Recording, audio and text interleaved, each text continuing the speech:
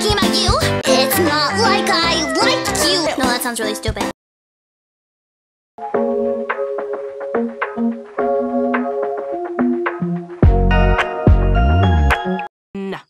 Fun. Remember when I swallowed that little computer? Uh, and now we're arrested?